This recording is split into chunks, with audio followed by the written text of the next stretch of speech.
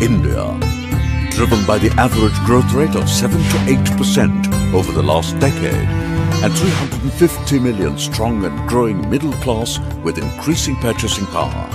The Indian market today is reshaping the world's economy. India has become one of the most favored destinations for global investment capital. India is the ninth largest civil aviation market in the world aviation industry today. By 2020, India is expected to be the third largest aviation market. The passenger traffic in 2014-15 was recorded at an outstanding figure of 198 million.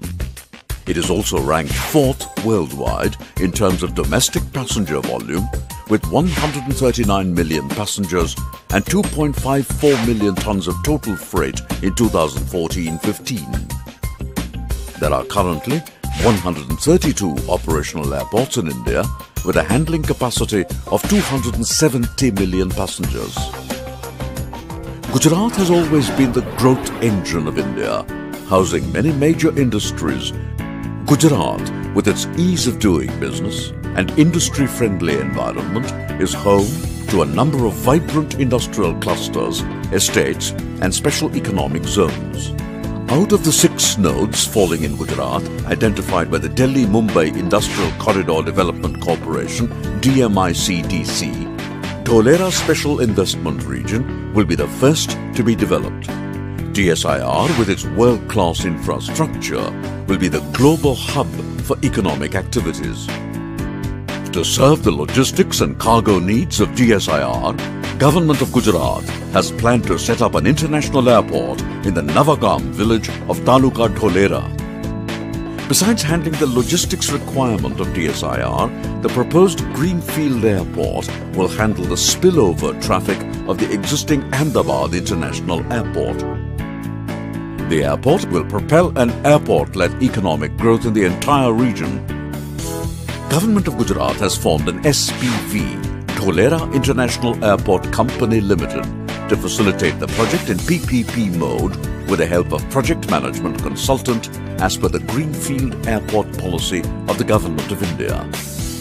Dholera International Airport Company has obtained necessary approvals such as environment clearance, in-principle approval etc. from Government of India. Dholera Airport project has been declared as an early bird project jointly by Department of Industrial Policy and Promotion, DMICDC and the Government of Gujarat. The airport is strategically located amongst the big cities of the state. Dholera Airport will be well connected via express highway and metro railway. 1,426 hectares of government land has been reserved at Navagam village of Taluka Dholera in Ahmedabad district. The measurement and demarcation of the site is carried out by District Inspector of Land Records, Ahmedabad. The site can accommodate two runways of 2,910 meters and 4,000 meters with parallel taxiways. Airport Authority of India has prepared the feasibility report, detailed project report and environment impact assessment. Japan International Cooperation Agency JICA has also prepared and submitted a detailed project survey independently. DMICDC has equity stake in Dholera International Airport Company Limited. The project will be developed in PPP mode adhering to the guidelines of the Greenfield Airport Policy. DIACL is also planning for an aviation zone and MRO hub in the adjacent government land parcel available. Adding components like the use of renewable sources of energy like solar park, implementing green infrastructure and adopting sustainable best practices will make Dholera Airport earn carbon credit. Come and join us in the development of state-of-the-art airport project.